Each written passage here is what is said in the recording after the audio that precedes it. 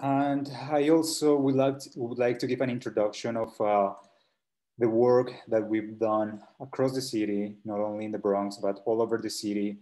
Uh, we're starting our Six to Celebrate program, and this is the, um, our, the 13th version of the Six to Celebrate program. And uh, we're encouraging community-based groups to participate this year. This is a, a very useful program for groups that are interested in, in preserving the um, historic treasures of their neighborhoods. We provide uh, technical assistance, our knowledge, our strategies, and our point of view for them to advance their historic preservation objectives. And we do walking guides, walking tour guides like these ones. These ones are all in Spanish. So we, we have some of those in Spanish. If you want to check them out, please visit our website, hdc.org. And we've also done, we've also highlighted other community members that have represented a very important uh, role in their communities, in the development, in the social development of their communities.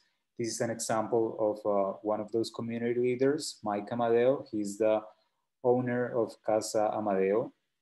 And he, he's, he's done wonderful contributions to the culture, to the Latin culture of the Bronx. If you want to know more about those interviews and those uh, programs that we've done in the past, you can also visit our YouTube channel where he, we have those interviews and those videos.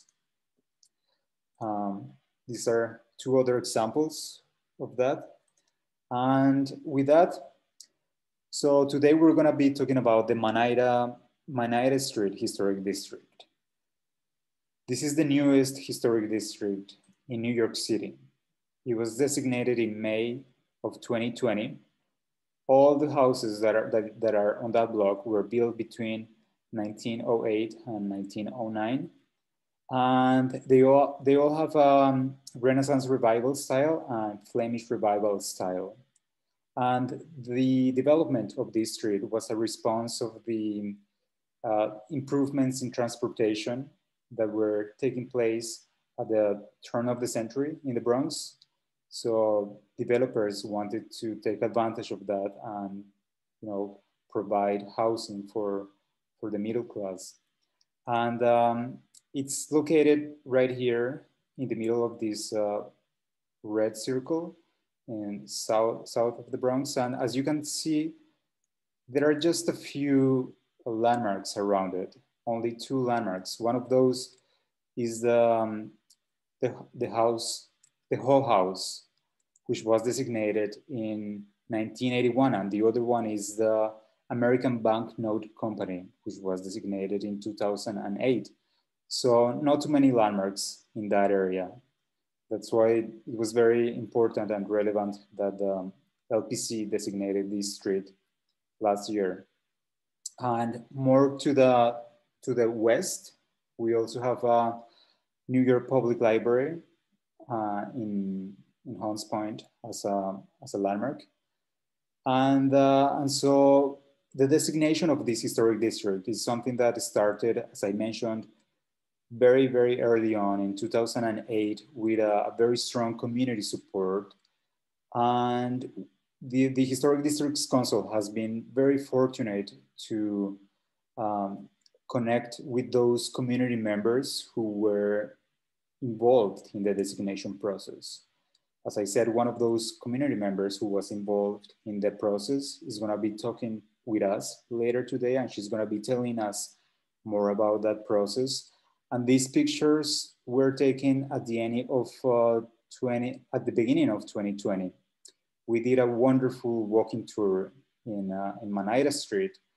And what's, what's so interesting about this uh, walking tour is that we only wanted to invite community members because something that we realized when we did a walking tours in the Bronx is that we never had community members. We never, never had uh, community members.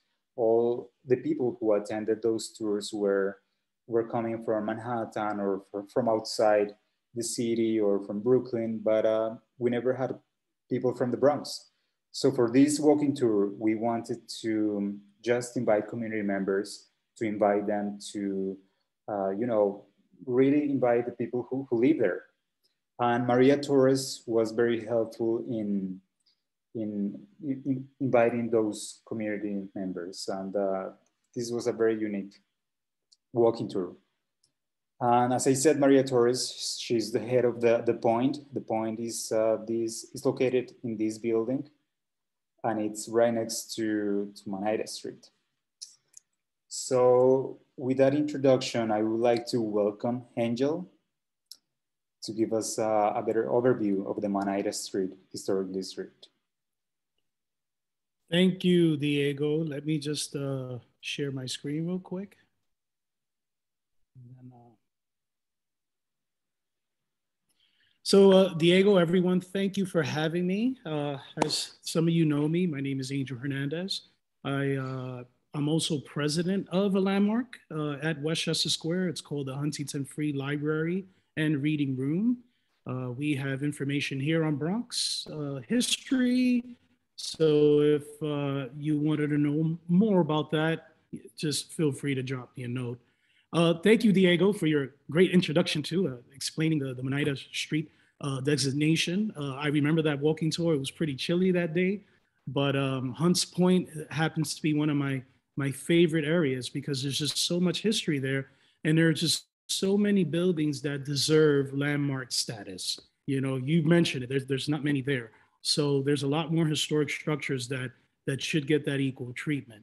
So you're looking at uh, Street, and this is uh, looking from Garrison Avenue uh, towards Lafayette Avenue. And uh, it's a collection of 42 homes. Uh, the primary designers and developers was the Moneda Company, uh, James F. Meehan, uh, Daub and Kremberg. And James F. Meehan was in charge of the west side of, of this street, whereas the two other companies, Moneda Company and, and Daub and Kremberg, they were in charge of the east side. And it, it's just a collection, it's a uniform collection of Flemish revival architectural style. Uh, and you can see the, the staple protruding bays uh, with, with the rounded windows. But the west side happens to be a little more ornamental. So the name that really jumps out in Bronx history uh, uh, amongst the others that I just mentioned is James Meehan, because uh, he's had some uh, other uh, projects throughout the Bronx. And Diego, you mentioned uh, a person that's connected to one of those projects, Mike Amadeo. Casa Amadeo is located in the Manhasset building, which is another of a James Meehan building. It's our own Flatiron building in the South Bronx that separates Prospect and Longwood Avenue off of Westchester Avenue. So that's another Meehan project. Uh, James Meehan was a was an associate of William Morgenthau and Company. Uh, William Morgenthau designed, uh, well, developed, and was behind the, the erection of the Hunts Point Palace and all the other buildings uh, that's facing the storefronts, the, the block fronts rather, on East 163rd Street and Hunts Point Avenue in that intersection. Uh, another big player in the development uh, uh, at the time when, when these buildings were constructed on Manida was the American Real Estate Company, which is ARICO. That's that was their acronym, and uh, they were basically in charge of the buildings along Westchester Avenue, where West Farms and Southern Boulevard meets. So here are the big developers. William Johnson was also a developer. And these big development companies started off as smaller speculators building taxpayer buildings and, and, and you know, smaller dwellings attached to, to train lines or proposed train lines just to make some money and, and already anticipating the, the, the, the building boom that was going to happen at that time. And we're talking about the turn of the century. Uh, most of, well, all of the structures of Manida Avenue was constructed between 1908 and 1909. And this is basically uh, coinciding with some of the earlier train stations that were being built. One of them was Simpson Street on the two line and Intervale. Those go back to 1904 and 1905. So that pretty much was the impetus of seeing the development boom that brought us Manida Street and these beautiful structures. But as you know, as a historian, you know, I like to play around and talk a little bit about history. You know, development boom intensified at the turn of the century, but it pretty much started, you know, it, it had a slow start dating back to the mid 19th century all the way on. And this was with the introduction of the locomotive in the area. You had the New York, Westchester, and Boston uh, uh, running through this area. This was the only commuter line that was laid out in the 1870s, and it took on uh, some other entities, but it was still a commuter line up until the 1930s when it finally bankrupt. Uh, and when it bankrupt, that I mean, it, it, just faced a stiff competition with uh, the subway lines that came in the 1920s. So you saw that impetus, though. You saw that start of a, of, of a development boom, but not as much as you saw in the turn of the 20th century. So when I talk about development boom, it's not building, it's not tenements, it's not townhouses, it's mansions. you know, Hunts Point had a collection of beautiful mansions. You know, in fact, the South Bronx, you know, it was the backyard for the rich. You know, you had the Tiffanys, you had uh, the Faile family, uh, you had the Coster family. Uh, these were families, affluent, uh, millionaires at the time, uh, they had their their city houses, uh, you know, in Manhattan, but their summer homes were here in the Bronx, what they would call Westchester County, or their private little estates, and pretty much what you see here. But what I want to focus on is the one in the middle, Woodside, because that is where Manida is today. It's on the former estate of Edward G. Faile. Edward G. Faile was born in 1799. He, uh, he was born in Scotland. Uh, he immigrated with his family when he was a, when he was an infant, and they moved to Eastchester, which is now you know uh, the Pelham section of the Bronx, just right outside of Pelham Bay Park. Uh, but later on, they moved to Westchester County, and uh, he was a he was a prosperous merchant. He was in the textile business. He was a president of the, the New York Agricultural uh, Society, and uh, this was his estate, Woodside. Uh, this is now roughly off of Lafayette Avenue. And uh, uh this was pretty much uh, his country seat. He was a good friend of the Hoe family, good friends with the Hoe family. Uh, Richard March Hoe, we have Hoe Avenue in the area. people are like, where does Hoe come from, right? Well, the word Hoe is Old English for hill. it comes from the Hoe family, Richard March Hoe and his brother Peter Hoe uh, Diego, you just showed his house a little while ago, Sunny Slope, which is now the African Methodist Church on uh, uh, Fell Street. Well, these guys were in the printing business. Richard March Hoe was the inventor of the rotary press, and he also invented the machine that that was able to stamp tickets. And it, legend has it that it was Edward Faile that gave him the idea, that inspired him uh, for such an invention. So uh, it so happens, and it's just a coincidence, that uh, you know you have uh, uh, you have your, I, I would say your heritage of writers. You know, you have Longfellow, Whittier, you have all these streets named after writers, Printers Park, right? Drake Park, but you also have the, the printers themselves, Hoe Avenue.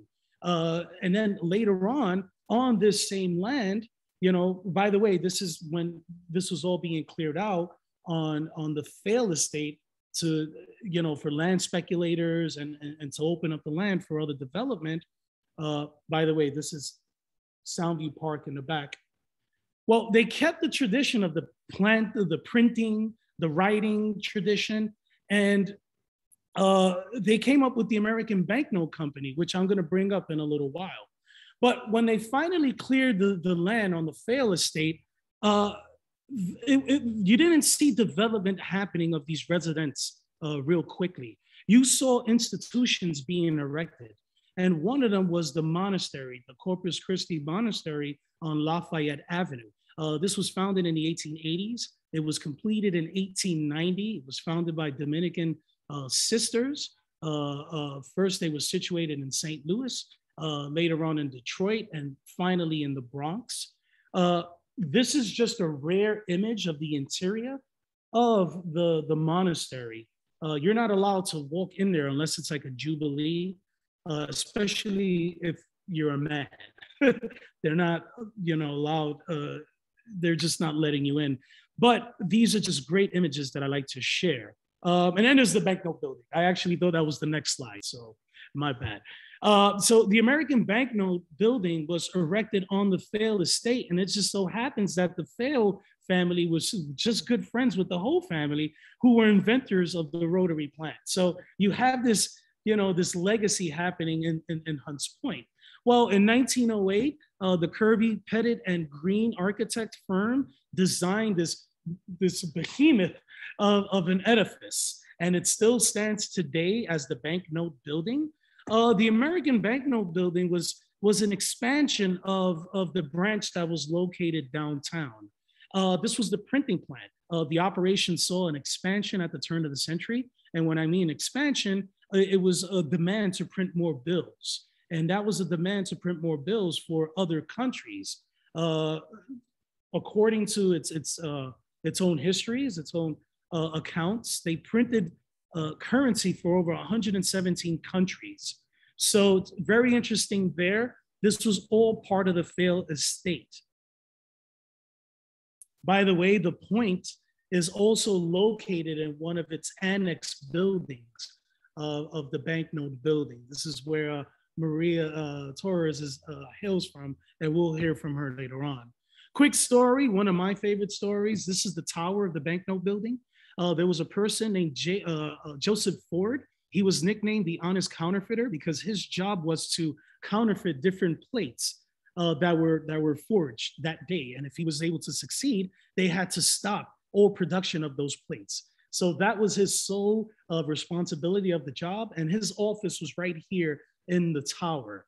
Uh, you have numerous organizations uh, headquartered here, and I believe Congressman Richie Torres is headquartered here as well.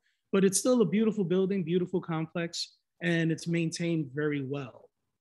Another institution that was founded at the turn of the century, you're looking at the Sevilla Home for Children. Uh, this was another huge behemoth complex that sat just right next to the, the, the Corpus Christi Monastery, which is now the, the, the Jose Caraballo uh, ball fields, uh, where the Hunts Point Recreation Center sits today. Uh, this was completed in 1909 in 1908 and 1909, at the same time, the Manida uh, uh, structures were completed. And uh, it was an orphanage. And it, it, first started off as a girls, a young girls orphanage. And it was founded by this person here. His name was Jose Maria Sevilla. He was a Peruvian millionaire. And in his will, he set aside half a million dollars uh, to build uh, this, this behemoth of a complex. I, I believe this is a Spanish colonial style. Um, a lot of people uh, confused it for a, a, monastery itself. It looks sort of religious, but no, this was a this was an orphanage. Unfortunately, it took on some more nefarious uh, uh functions. It became uh, detention for, for girls. Later on, it became a detention for all kids. And it became a precursor for Spofford uh, Correctional Facility, which was uh, erected in the 1950s. So uh, this complex was finally closed in the mid 1970s because of what was, you know, what was the city, what was going on at the time, and and the practices that were happening in these institutions, and also the treatment, you know, of, of the young girls when it was a detention uh, center. But it gives a, a little history to the word Manida, so if you look at uh, John McNamara's History in Asphalt, you know, the Encyclopedia of Street Names and Places, you know, it lists Manida Street as named after, uh, I believe, it's some maid, a Lady Ida, or something like that. But th- here's the, the more, the story that gives a little more credence to that. Manida in Spanish, manida means either something that's worn, something that's been stretched or you know, just been worn out or just been used over, over and over again, something to hang, you hang on, or it means a place of refuge, a place where, where you can just, just be for a time being. So that's where the word comes from. It's, it's not used very much in, in a contemporary Spanish language, but that's where the word comes from, manida. It means a, a place of refuge. And, and, and this all goes back to uh, the Sevilla Home for Children. This is how it looks today. I like how everything comes full circle. Um, it started off as a, a, an orphanage for children. It had a great cause. And we were just uh, very happy that we have this facility that once again was, was built for, for a similar purpose to serve children of today. But what was going on, you know, when these institutions, when we were being erected? Well, now you have your residences. Now you have the subway lines being laid out. You know, uh, as I mentioned before, the Simpson uh, Street Station uh, was was erected in 05. Uh, Intervale as well. You had the number two train. The subway line was being extended, you know, on 149th Street. So this was sparking more of a development boom because it was offering an option for people and an affordable option as well. So you saw these subway lines being dug out underground and these entrances, you know, just coming out of nowhere. What you're looking at here on your left uh, are these billboards, these, these real estate ads that were just placed all over. Uh, remember, I mentioned uh, people like James Meehan and, and, and William Johnson, these guys, they were just building these small little buildings, taxpayer structures along the train routes or, or proposed train routes. Well, they would post this all over and they knew what was going to happen. They knew the plans, they knew uh, what type of uh, edifices that, that were going to be erected. And later on, when they got into the business and expanded into their own huge development firms, uh, they became in charge of the buildings that you see here. They were the creators of it. So just take a look at this ad here. Ever think of living in the Bronx?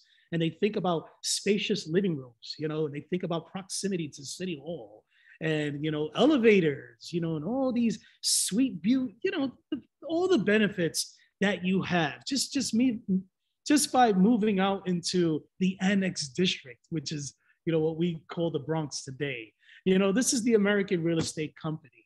On your right, on the top right, is a, a Morgenthau um, uh, creation. That is the Hunts Point Palace on your right. Uh, that was completed in 1913. Now it's a special building because it's it's it's the first structure in the Bronx that actually shows the seal, the the Bronx, uh, the coat of arms on it.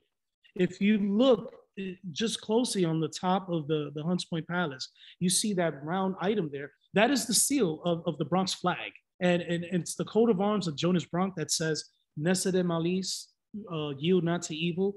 This was the first building. And in fact, it, it, it was there before the actual Bronx flag was instituted, which was in 1914. So the Hunts Point Palace holds much history, not in, in, in Hunts Point, but in the Bronx as well. And across the street, you have some of the other uh, James Meehan uh, creations when, when he was with the Morgenthau firm and when he went in business on his own. And finally, on the bottom, you have Ameri- uh, uh, Arico Park. Arico is the acronym for American Real Estate Company. Arico Park was the central park of the American Real Estate Company's, you know, project, uh, which was at the time the Simpson Avenue, uh, Southern Boulevard, uh, uh, uh West Farms, you know, that area there those, which by the way, those structures are still standing. If anyone's familiar with Checkers, that's located right on the corner of Southern Boulevard and, and, and West Farms, that's a that's American Real Estate Company. Anyway, what you're looking at now, the top bottom, uh, I'm sorry, the bottom photo on your right, that's now the newer structures on Simpson Avenue, uh, the housing developments that were completed in 1982. So the buildings you see here no longer exist, but just gives you an idea of the abundance of tenement buildings. And, and by the way, when when Manida, when those buildings were erected, yeah, they were Flemish style because you had you still had a German German population in the Bronx, but you also had a, a boom of Italian immigrants coming in and, and, and, and other immigrants. And there were a lot of architectural styles inspired by these cultures. This is where you get Italian Renaissance, you know, and other these Baroque styles. So it was a, a golden age for architecture in the Bronx, where you saw this Renaissance boom of all these architectural styles. And Manida Street is, it just encapsulates that, that glory day of the Bronx. So that's my presentation. I can go on and on about this, but I am just so happy that Manida is finally being recognized as a person from the South Bronx and Soundview and doing tours there. It just brings me a delight. And I just hope it just inspired more uh, to be recognized in that area as well. So thank you. Thank you so much, Angel. Um, if, every, if anyone has any question, please feel free to unmute yourself and ask your question. Uh, I do have one question for you, Angel. Thank you so much for your wonderful presentation. So I've been several times in, to Hunts Point and I've seen the American Banknote building and it's, it's beautiful. It's very, very gorgeous.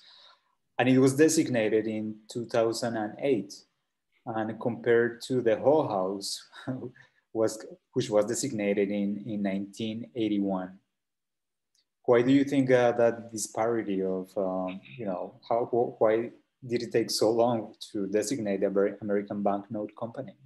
So I'll tell you what. Um, I I think there it's it's there were several factors. One, I believe the American banknote building switched hands a couple of times since the 1970s when the banknote build the banknote company actually moved to New Jersey. So there were other development firms, and uh, there were other entities located in that building that I, I believe it, it became sort of like a difficult situation for a landmarks designation to happen. Whether whereas the whole house, you know, it, it, it was always a place of, of worship. It was a synagogue years ago, right? Well, it was a residence, then it became a synagogue, then it became a church for a little while, and then it became uh, what it is today, which is another congregation. So I, I believe that was one reason. Uh, the second reason I, and um, I, I believe Maria could talk more about this, I believe the banknote building went through some issues structurally, you know, especially in the 70s and 80s. Um, there, there was some issues with that. Uh, but to tell you the truth, I really can't pinpoint it um, both buildings have historic significance. I mean, the banknote building, you know, uh, but in my experience, you don't see a lot of factory buildings getting landmark status in the Bronx. I mean, heck, you got the Mott Haven Foundry building still standing, you know, in Mott Haven, and and they're building right around it, right? So we don't know if they're going to tear that down, and and that's perhaps one of the oldest factory buildings still standing in the South Bronx. So factory buildings don't get that status. It's it's historic significance that bring it. So perhaps you know maybe the buildings along Mott Haven could get some historic status because of their uh, because of piano legacy, right? But you know, going back to the American Banknote Building, you know, there must have been some factors with it, but you know, I just can't pinpoint it. But hopefully, someone on this call can. Yeah, Maria, jump in. well, I, I, just want to jump in too, and in, in, the same note, and I'm really also really surprised as well that the Corpus Christi Monastery isn't designated. I mean, yep. if we're going to go there, right? I mean, the whole mansion in, in, the 80s, then you do the banknote in 80 in uh, 2008, but the Corpus Christi Monastery has always been the same. I, I don't know if it's because so few people get to go in and actually see it or actually see the ground. But right. um, to me, that's also something that should be landmark, you know, well, as well. Thank you, Maria, because um, you know when I mentioned earlier, you know, Hunts Point is one of my favorite tours because it allows me to shed history on buildings that are not landmark, but they should be, and and Corpus Christi is one of them, and on on the day of Jubilee, I don't know when that's celebrated, but you can actually walk in and you have an unobstructed view of the Manhattan skyline. It's it's a beautiful, you know, location in the cloisters there. But you're right, you know, it's it's not landmark, and, and it should be. It, it, it, should be. So. Yeah, I, I, totally agree. I mean, that building is, is very beautiful, and there are many buildings in Hunts Point that deserve to to be landmarked. Yeah. So, in, in regard to that, how do you think the audience can help to bring attention to those uh, potential landmarks, to try to, you know, tell the LPC to pay attention to those beautiful historic buildings. How, how can the audience, how can the people who are attending this meeting help in any way? How well, it's all about it's all about advocacy, right? It's all about you know getting getting everyone on board. You know, getting uh, Ralph Salamanca, especially. You know, Richie Torres. I mean, Ritchie Torres. He's a historian. He used to call me up all the time. You know, and I used to bore him. I, I never bored him. He loved listening to me. But it's all about advocacy. It's all about getting your letters of support together and and and sending it to landmarks uh, preservation. It also takes involvement from the monastery as well you know, uh, speak to your administrator there, see how they feel about be, getting landmark status. You know, they may, they might not have a, a full understanding of what it is. They might think landmark static, oh, we're going to have, you know, tourists jumping out of tour buses, you know, taking photos.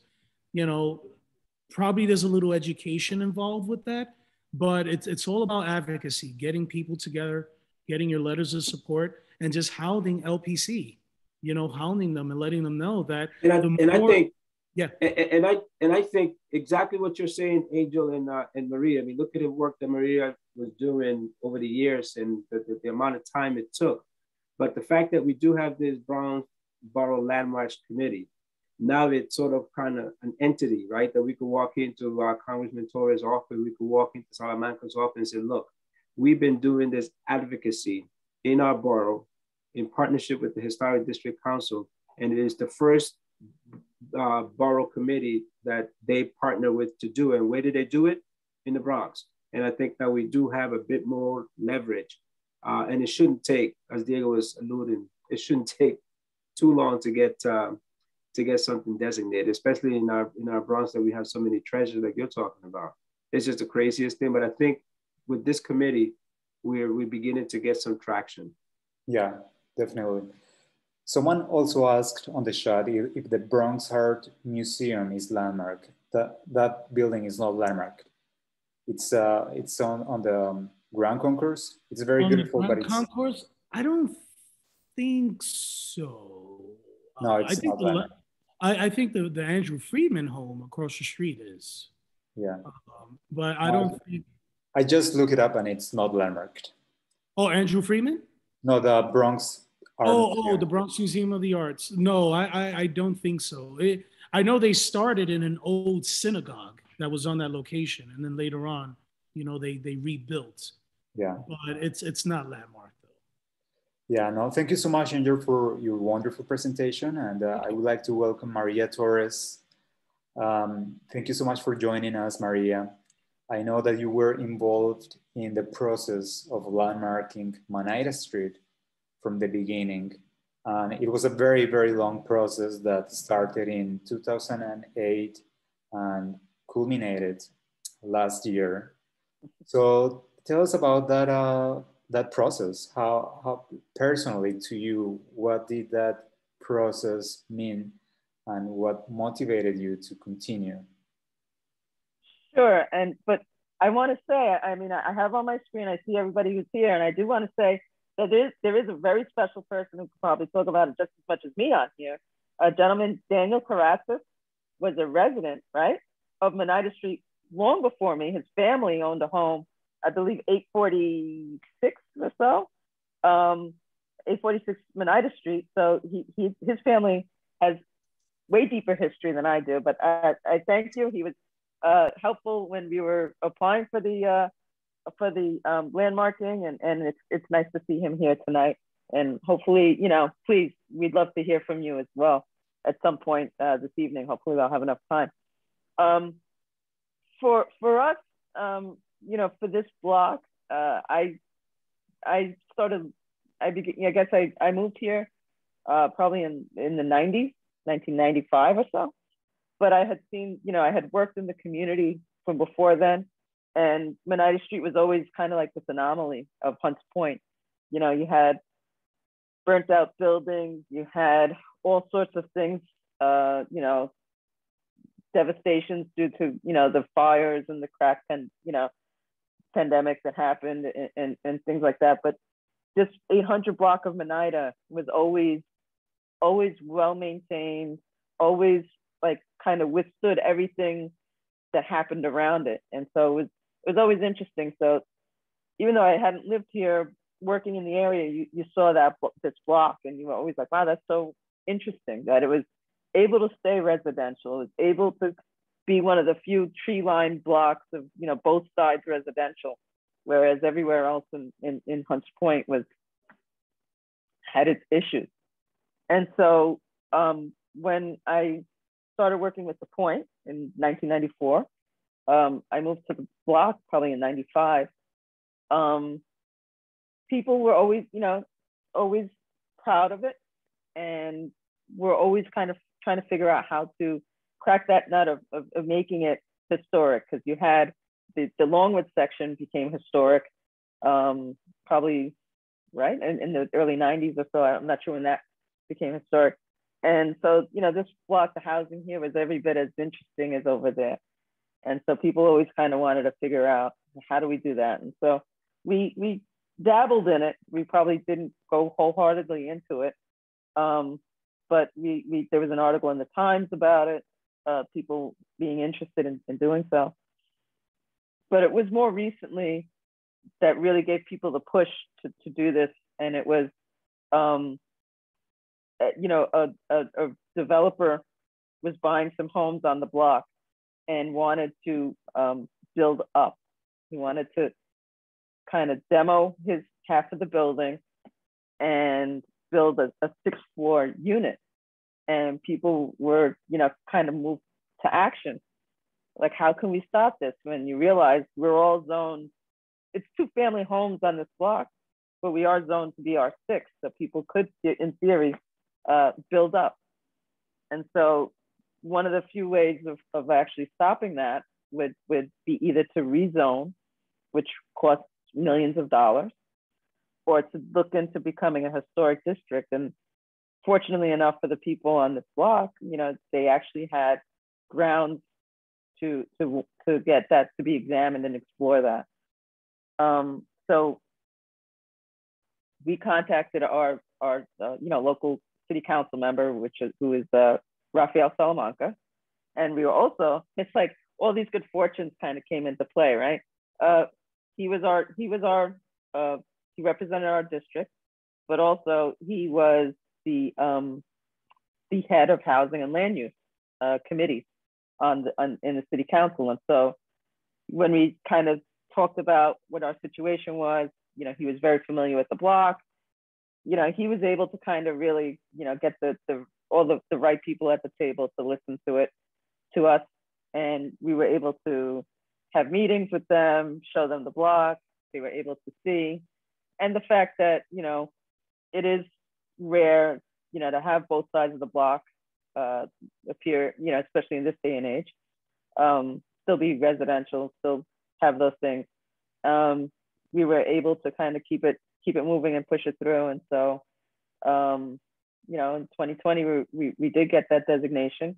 I do want to say too, it was that that tour we did in, in early 2020 that was like it felt like one of the last things we were able to do together without masks right? Because like a couple of weeks later you know the pandemic kind of just took yeah. over. So it was like you didn't know it was coming. Um, so and, and it makes it all the more sweeter to see those pictures again. Um, and so, so you know, um, yeah, that was, that was, before the pandemic, huh? Wow. Yeah, it was like a week before the pandemic. really? we, yeah. we, we got it in right there on that line. Oh yeah. my god, I didn't realize. I'm sorry, Maria. I didn't mean to. No, no. So, so I mean, um, really, again, it, what we did is we did a lot of legwork, and and we were one of the other great fortunes we have on this block is the fact that it still is mainly owner occupied. The owners of the homes live here. So when people wanted to see something happen, you were able to, you know, create a petition, actually have owners, you know, participating, which may also makes it, um, you know, makes people listen a little bit more and and um, and a lot of, you know, everybody got together. They did the the, the petitions. They sat in on the meetings with landmarks and and really, you know, um, put, put it forward. And, and so, you know, that's just some of the blessings of the, the great parts of this block and, and so forth. So, I mean, I, I really want to just, I don't know, my brain's all over the place, but want to hear any, any questions or any, any other thoughts or anything else anybody has. So I, I do know that the, the council member, Rafael Salamanca, he was very much involved in this process and he, he testified in favor of, of the designation. And so I, I want to know what it meant for this, uh, for this campaign to, to have uh, the council members support, considering that he's the chair of the um, land use committee at city council, what, what it meant, how, how helpful was that? Well, that he was invaluable. You know, I mean, his office. You know, they were always. You know, they still call me. You know, to say, hey, this is what's going to happen. You know, with that, getting things together. Where do we want to put the signage when it does come for the finally to do the ribbon cutting of of the historic district. Um, and I think uh, also the fact. I mean, we're the 13th landmark, uh, right, a historic district in the Bronx, in the Bronx which yeah. is an unlucky number, but I think the 150th in the city overall is a great, you know, great number. That's a great landmark too, you know. Um, so we're we're really excited about that, and I think um, it was something he was excited about too, because this is a one way that you know you can fight kind of kind of try to stave off gentrification in the sense, you know, he he, you know, having developers come knock down these old, great old houses to put up, you know, six six floor, you know, uh, buildings and, and generate all this income for apartments in, in on this block, which is, you know, really interesting. And, you know, this is one way of, of keeping it families, working families who have been here for a long time, uh, raise their kids. The kids are living and, you know, taking over, you know, some of these houses as well. Um, this is really, you know, it, it was a win-win for him in a sense. Yeah. Yeah. Again, if, if anyone has any question, please feel free to type them on the chat or, or unmute yourself and ask your question. And uh, I do wanted to ask Maria, there are, there are, we are working with a couple of uh, community groups across the city, also in the Bronx, who, who want to have their neighborhood or their streets landmarked. Uh, we, a couple of weeks months ago, we started a, a campaign with the Parkchester, and uh, there's a lot of community support in Parkchester. But some of the community members that I've talked to, they they they see the designation process as something that is, that is it's very far for, for, from accomplishing. So what would be your, your advice for someone who's just starting and someone who wants to preserve their their block, their neighborhood, and who you know, someone who's just starting, what would you say to them? Oh, wow. um, you know, it, it's, you know, part of what we, what I do at the point, you know, in, you know, we, we do arts and we do community revitalization and, and things, but it's also, you know, working with young people and it's really helping them to see the beauty of what's around them in their community, to really care about the community, right? And and so here, you know, in Hunts Point, we have a lot of things. We have a lot of things that we could say makes it terrible, but we have a lot of things that we say make it so unique and fabulous that if you kind of focus on those things, you can get rid of all the other things that you think are so terrible. And so I, I feel like every community has has that beauty to it, right? Otherwise, nobody would stay there, you know. Um, and and there's something interesting to it. And I think you focus on those things and you really um, you know it's it's it's a lot you know you have to know the city council people your community board. You could start with your community board because that's the first level right? Um, contact your, your district manager there you know try to get your your council member um, and really just getting your neighbors too. I mean the more people that you can get to to talk about things and and and and make some noise that the the easier things kind of get with this city right? The squeaky wheel gets the grease. And and that's important. And, and you, you just kind of get this you could if you could build that wave you know? For us here you know like i said you know we had a great circumstance in terms of this is a very unique block. This is a very unique community.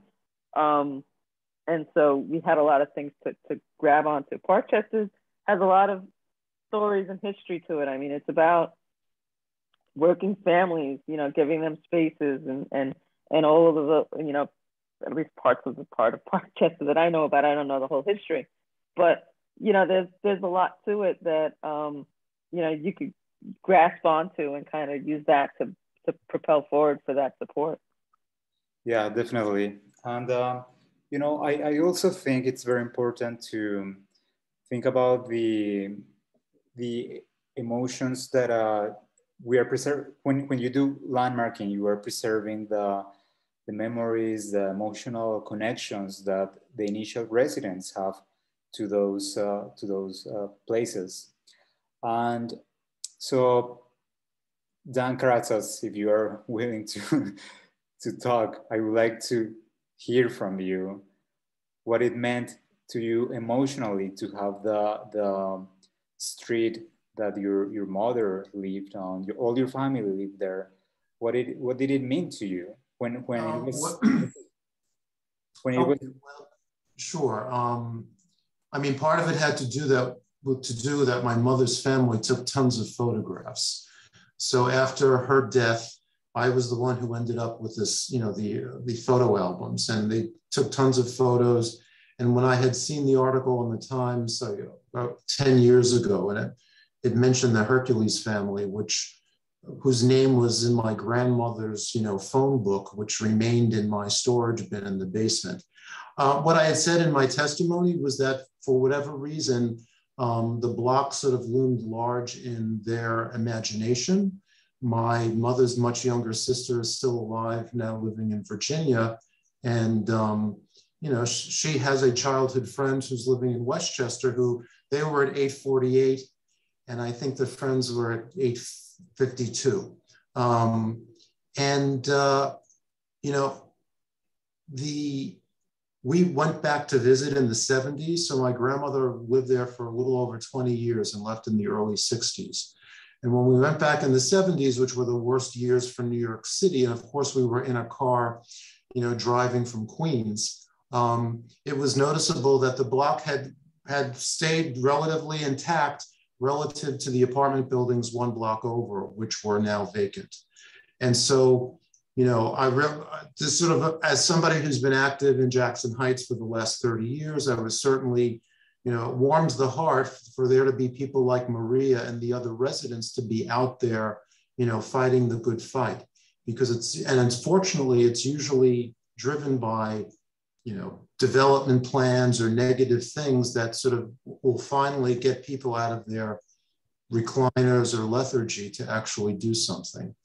But I sort of say, you know, to, to a large degree, the, um, you know, maybe architecture is destiny to some degree. And on pleasant blocks where people had a pride of place, regardless of, you know, uh, their ethnic group, their age, whatever it might be um, that's that's what maintains community. And you know, thanks to the Historic Districts Council to being out to being there for people over the years, including me living in Jackson Heights.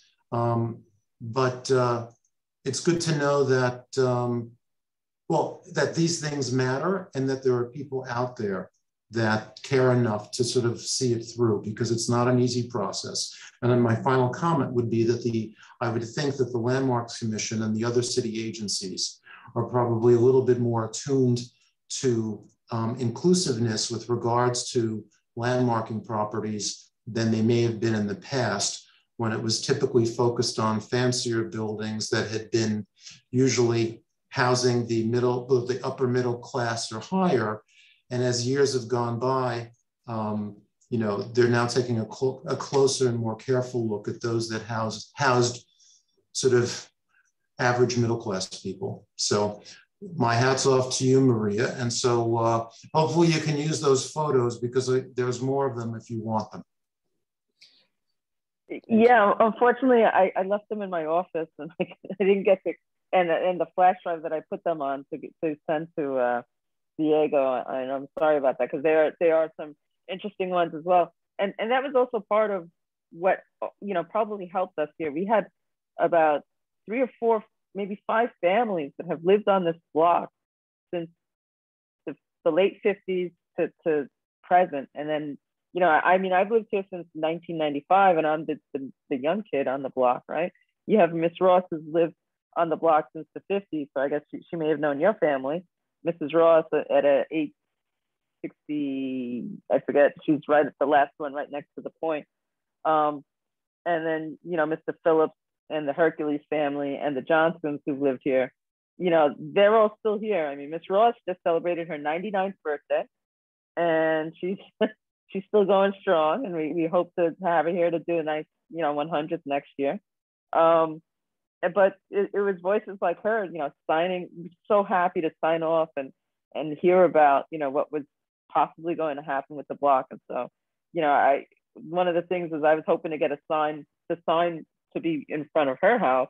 We have to have it a, a little bit further up the block, but, um, you know, that I think that's something that we, you know, definitely want to make sure that her and Mrs. Johnson, um, you know, and, and Mr. Phillips and the Hercules, you know, get to, you know, take a nice picture around that once it finally does come into play. Um, but it was having folks like that here, um, you know, to, to tell their stories. That I think that also is really powerful. You don't see that a lot in the city, and let alone in the Bronx, let alone New York City, very often. Yeah. And that's why I think I, I think I put it in the chat that it would be amazing, uh, Maria, if at all possible, if there was some some bit of um, funding or something to just do like a good five minute, 10 minute documentary on the entire process, especially to memorize, uh, memorialize some of the folks you just mentioned that are, that are living on the block and the journey, because I think that could possibly be one of our things in our toolbox that we could say, listen, this is the journey of the Manida Historic District and what it took. And I think that may be something that may be worth considering. Uh, and we could use it for marketing purposes so that we could get more communities uh, involved in the designation process. But that's a live testimony, which is amazing.